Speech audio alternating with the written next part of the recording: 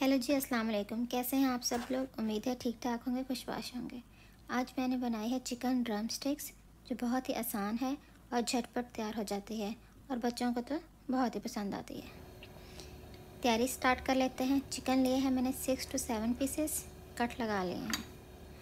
अदरक का पेस्ट चाहिए हमें एक चम्मच। लहसुन का पेस्ट चाहिए एक चम्मच। काली मिर्च चाहिए हमें, एक चम्मच। नमक चाहिए हमें, एक चम्मच। लींबू का रस चाहिए, एक चम्मच। सारी चीज़ें हमें एक एक चम्मच चाहिए। अब हम इसको मिक्सचर लगा देंगे।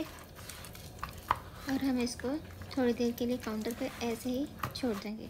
इसको कोई हमें ऐसा कुछ ज़्यादा देर लगा के रखने की ज़रूरत नहीं है।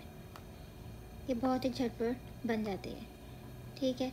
अब हम एक पैन ले लेंगे या कोई बर्तन ले लें, उसमें हम चिकन को डाल देंगे। और हम चिकन इसमें डाल देते हैं, ठीक है। और अब हम इसमें टू टेबल स्पून हम ऑयल डाल देंगे। मैंने ऑलिव ऑयल इस्तेमाल किया है, आप कोई भी ऑयल इस्तेमाल कर लें और इसको हम ढक कर रख देंगे। ये अपना ही पानी चिकन रिलीज़ करेगा और इसमें ही ये पक जाएगी। हमने इसको 10 मिनट के लिए इसमें रखना है। तकरीबन 10 मिनट हो चुके हैं। अब हम इसको खोल के देख लेते हैं। ये देखें, चिकन बिल्कुल गल चुकी है। अब हम इसको बाहर निकाल लेंगे। चिकन हमने बाहर निकाल ली है और जो सूप था वो हमने एक बॉल में निकाल लिया है। अब हम कोटिंग के लिए मिक्सचर को तैयार कर लेते हैं। एग ले लिया हमने और हंस पे ज़रूरत हमने क्रश चिलीज ले ली हैं और नमक ले लिया है। अब हम इसको बीट कर लेंगे। बीट हो गया। अब हम इसकी कोटिंग करेंगे। वन बाय वन इसको हमने पहले इस मिक्सर में डाला, फिर हम इसको ब्रेड क्रम्स लगा देंगे।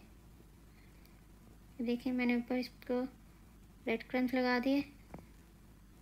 और अब हम इसको मैं रोल कर लूँगी। ये देखें। इसी तरह मैंने बाकी भी ऐसे ही कर लूँगी। आप इस स्टेज तक आप इसको फ्रीज़ करके भी रख सकते हैं। और जब निकाल के बनाने हुए तो बस निकाला और ऑयल में फ्राई कर लिए। मैंने इसको भी ब्रेड क्रम्स लगा लिए हैं। ये रेसिपी बहुत झटपट तैयार हो जाती है, आप इसको ज़रूर ट्राई कीजिएगा। और एक बात मैं यहाँ पे कहना चाहूँगी, अगर आपको मेरी वीडियोस अच्छी लगती हैं तो प्लीज़ इसको लाइक शेयर एंड सब्सक्राइब ज़रूर कीजिएगा। ये देखिए, मैंने ब्रेड क्रम्स लगा लिए हैं। इसी तरह मैं सबको लगा लूँगी। ऑयल हमारा गर्म हो चुका है। अब हम चिकन को इसमें डाल देंगे। फ्लेम हमने लो टू मीडियम रखी है।